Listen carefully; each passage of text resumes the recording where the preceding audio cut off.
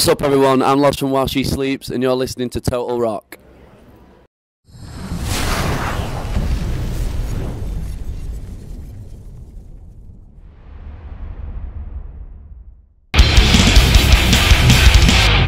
Or After Rock at Rock am Ring last day, and I'm starting on the best way possible. I'm here with Loz of While She Sleeps, still celebrating Self Hell.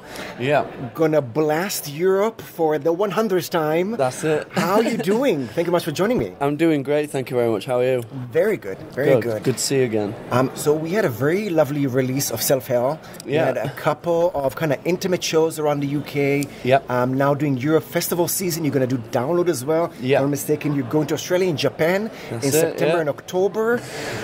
Such a good time to be while she sleeps. Uh, it feels that way. It feels that So, way, yeah. Can we say that you've beaten the imposter syndrome? You're loving everything. Everything sounds great, and there's no self hell anymore. They just Uh, happiness.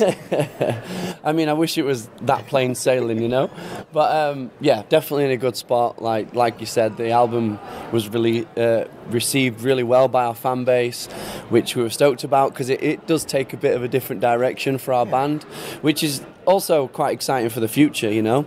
Um, almost in a strange way more exciting than releasing Self Hell is like what doors does that kick open kick open for another record okay, you mean uh, creativity? in, in, in terms of like our sound and, and direction and where we take it. So you know we can we can stick to things we've done in the past, but you know the progression of our band. It's exciting to see where that goes now that we've sort of opened the door to a slightly newer, fresher while she sleeps. I think.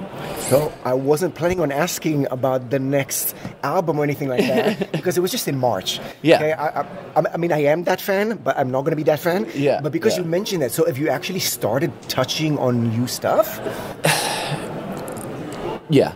Okay. Yeah, not like not to the extent Yeah. of like we've got it done or anything like that. But you know, we we don't really rest that much. But you have some so- vocal recordings on your phone, just some samples I, I've you send each started writing lyrics, Okay, and wow. everyone else has started writing bits and bobs, and yeah. So you know, the creative process is always a long one. So even though the album is relatively fresh, it's always an ongoing process for us. So yeah, we don't really rest on that thing. And, and Sean's got demos for for days.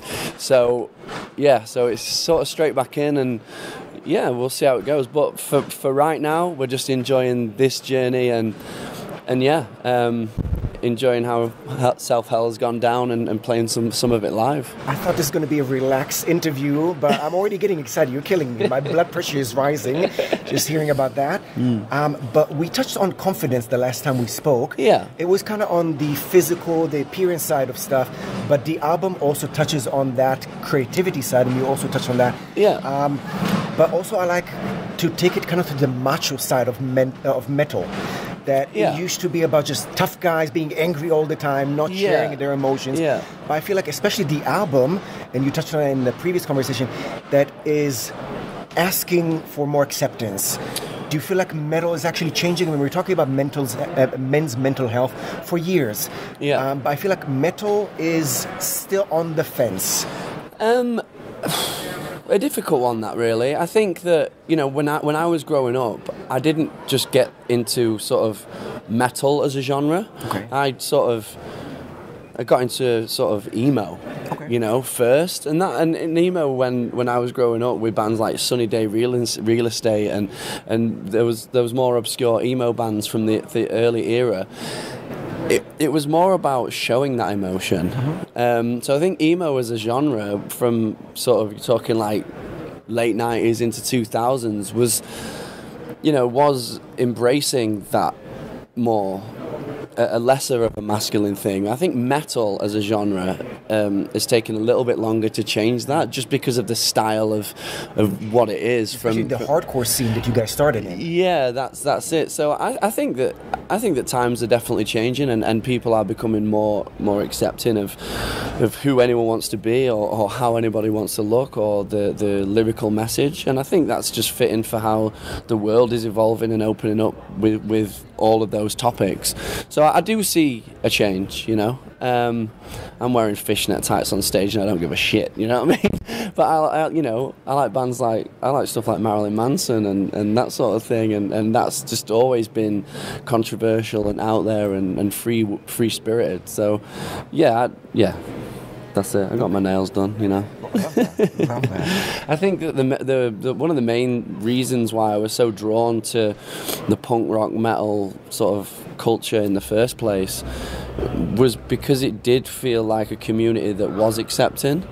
Um, so I think that's definitely still there, um, and I, I, I think that's been there for a long time. I think it just takes certain certain genres a bit you know, I think it's down to how your band sounds as well. If it's, if it's, you know, all these things count. But yeah, I see it opening up and people being a lot more accepting now. So here's a more welcoming, more accepting future for everyone.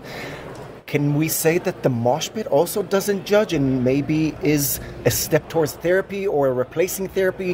Where's the mosh pit and mental health in all of that? Yeah, I, I, definitely think that, you know, While She Sleeps has always gone out on stage and we've used it as a time to get rid of our negative energy, if you like. You know, that's always been kind of what it's like for me. That's how I started, you know, screaming out of my grandparents' garage when my fucking mum and dad were going through a, a fucking divorce, you know what I mean? And that's just me being a kid and having a space and and friends to just try and express ourselves, you know. And and yeah, that's what it's always been like for us. I think I think that people that are into the genres that we're into, and especially sort of festivals like Rock am Ring. I think you know after this whole weekend of seeing loads of great bands and and different cultures from all over the world, I think they hopefully they come away from it feeling like they've got rid of some of that pent up negative emotion and uh, yeah and yeah, that's what it's always been like for, for myself and while she sleeps. And yeah, I, I'd like to think that that's what the fan bases of all these bands get out of it.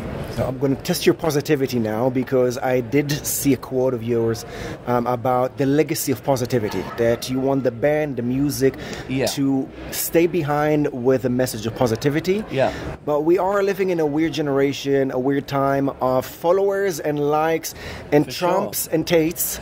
For sure. Are you still optimistic about that? That either music, yourself, the world can be remembered if there is a comet coming our way in a don't look up sort yeah. of way. Yeah. That our species is going to be remembered for the positivity or for the fake news or hate or yeah, the. the I, mean, uh, I mean, we can always, you know we can always hope for that perfect ideal and, and, situation. I think there's always there's always going to be conflicts and, and, difference of opinion, no matter like what it is about in in in any sort of in any instance anywhere. You know, there's always going to be conflict and, and yeah, like I say, different opinion. Um, but I think that you know, if, if people have a platform to spread a positive message, then they should. And I think, like, especially at the moment with like such a huge hardcore resurgence, I think that that is that is a, a genre and a, and a, and a group of of people that that do truly try and spread a, a positive message. Um, yeah, you know, for for us, that's what we've always been about. You know, we've spoken about it before, but like the, the feeling that I got when I, like I said before, got into metal and rock and, and punk rock and all those things, like was a sense of community. And, and if our community as a whole can promote a positivity, that's, you know, if all these bands that are playing today, if, if the message, you know, after all said and done, no matter what they sound like, if their message is a positive one that, that gets through to people and helps people, and all these bands use their platform to spread that, then over the world, you're looking at a, a, huge quantity of people that are all trying to spread that message. So I'm optimistic for it. You know, like our album Self Hell, it goes through a lot of different emotions and, and different lyrical standpoints. Um, and Uh, on one hand, I'm like, we're all fucked. We're all doomed. And on the other hand, I'm like, but let's fucking have a great time and spread positivity while we can, while we're here, you know? Okay. So, where are you on that roller coaster looking a month ahead into what some people call the new British Independence Day, 4th of July, oh, God, the yeah. general elections that yeah. after almost 20 something years, yeah. there's a bit of a fresh wind breathing around us. What, are you optimistic? Change, positivity, caring, kindness is coming? I think that the UK's in a pretty shit situation right now. I think a lot of people were misinformed about what they were going into uh, and voting for. Um, I always stood by the fact that I wanted to be united with the rest of Europe um, and always will. Um, Europe is just an amazing place. Um, and obviously with its own problems here and there, you know, whatever. I'm not too up on uh, European politics, but um, yeah, you know, we, we have a chance to to vote and move things in a different way. And people in the UK need to get up off their arse and vote for what they believe in and believe what's right. You have a vote there.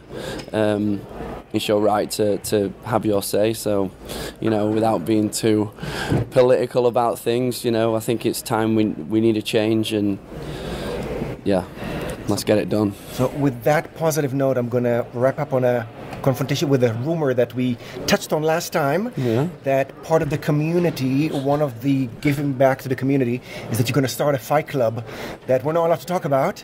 but you said there's going to be a Sleeps Society fight club in Sheffield. Oh, yeah. Is that finally Did I say happening? that? yes. No, it's not happening. Okay. I'm uh, I'm really into my UFC though. Okay. And um, That's going to be part of the community. I've got one of those things at the moment where I'm like, I need to get into a gym and start training with some martial arts and stuff like that. And uh, yeah, maybe the next time we talk, I'll have pushed myself out of my comfort zone and, and got into a bit of that. But yeah, for now, there's no there's no fight club. Loz of While She Sleeps Self Help is right now out, just spreading joy and positivity. Anything else you want to say to fans and, and listeners out there before we say goodbye? Just if you're on this journey while she sleeps, thank you so much for the love and support. I hope you've listened to Self Hell and enjoyed it. If you haven't, where the fuck have you been? And uh, we'll see you on the touring circuit with this new record. Thank you very much. It's been a pleasure talking to you, Loz. Thanks, bro.